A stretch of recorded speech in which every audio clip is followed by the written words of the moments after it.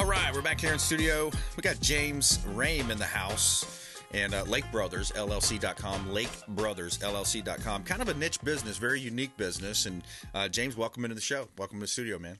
Thanks for having me. Yeah, tell us a little bit more about how you came up with the uh, the idea and what Lake Brothers is all about. so, um, you know, I've been in this industry for about 15 years. Uh, I got my biology degree from UCF, and first job out of college was uh, lake management. Cool. And um, you know, about a couple years ago, I opened up uh, Lake Brothers LLC, and um, our office is in Safety Harbor.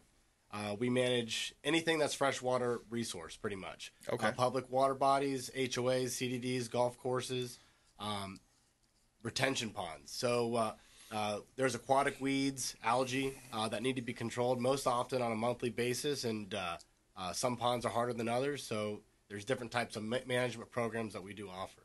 Yeah. So what when you look at uh, you know for example I, you know I live on Lake Tarpon so there's so many different types of species of weed and you see coming in there and it gets to a point where you can't operate your vessels you can't operate your jet skis for sure because the way they propel the water through and that's their uh, system that they run. Uh, talk to me about that. How, how does that work? How do you minimize that or, or how does that work? so Lake Tarpon and Lake Seminole are kind of a uh, little bit different water bodies. They're uh, public water bodies and they require FWC permits. So um, the homeowner and I will get together and we'll uh, get a permit in place, and uh, FWC will identify the aquatic weeds that are non-native, and they'll issue a permit, and they'll tell us what type of herbicides, um, EPA certified herbicides that we could use, and which species of plants that we can control.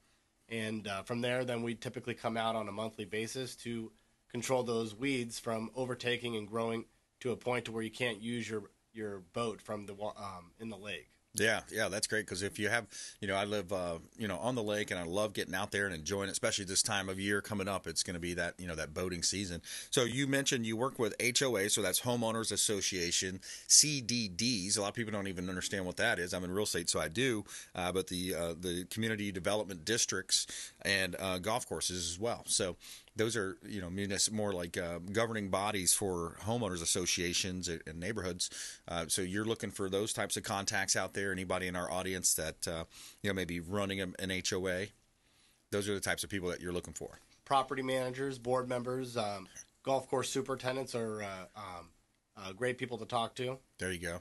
Yeah, I like that. Now you mentioned you're also hiring as well, so your company's growing and, and you're hiring. Yeah, so if you like to be outdoors, um, be on boats, ATVs, uh, um, outdoors. so it's it's hot out there, but um, sometimes it's it's great to be out in a different different environment, different lake every single day, and and um, helping improve water quality. So if um, those seems like something that you are interested in, and uh, we'll train you guys, and uh, you know we're we are hiring.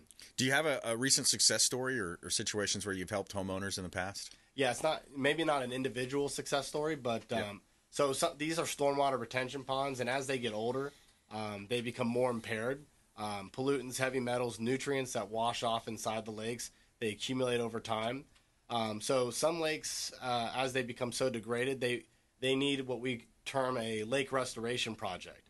So that's getting in there and doing water quality analysis, dissolved oxygen profiles, and really figuring out the biology of what's going on inside that lake system, hmm. and then giving an individualized lake restoration program, which can include aeration, um, uh, probiotics, digestive enzymes, nutrient abatement, uh, living shorelines. Living shorelines are Florida native aquatic plants hmm. that will plant within littoral zones to okay. help filtrate the lake and provide um, habitat for fish and wildlife.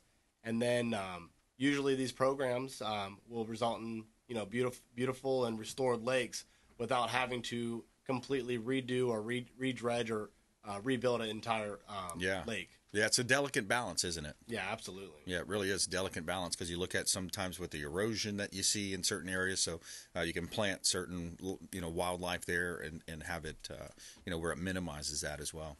Yeah. Very cool. How do you want people to connect with you? You got your website, you got social media too. Um, no social media, but uh, Lake LakeBrothersLLC.com. Uh, that's a good way to get a hold of me. Okay. Um, you know, shoot Lake, me an email. LakeBrothersLLC.com. Submit an email form right there on the website. LakeBrothersLLC.com. You can find James there. James Roehm. Pleasure having you in, man. All right, thank you. Hey, my pleasure.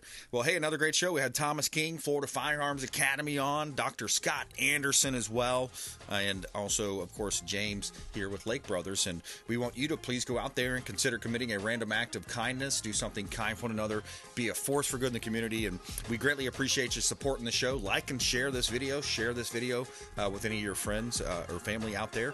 Let them know about the Real Estate Quarterback Show, the Consumer Quarterback Show, and all of our 60 plus expert contributors. Thank you so much. Have a blessed day. We'll see you next time. You've been listening to The Consumer Quarterback, Brandon Rimes.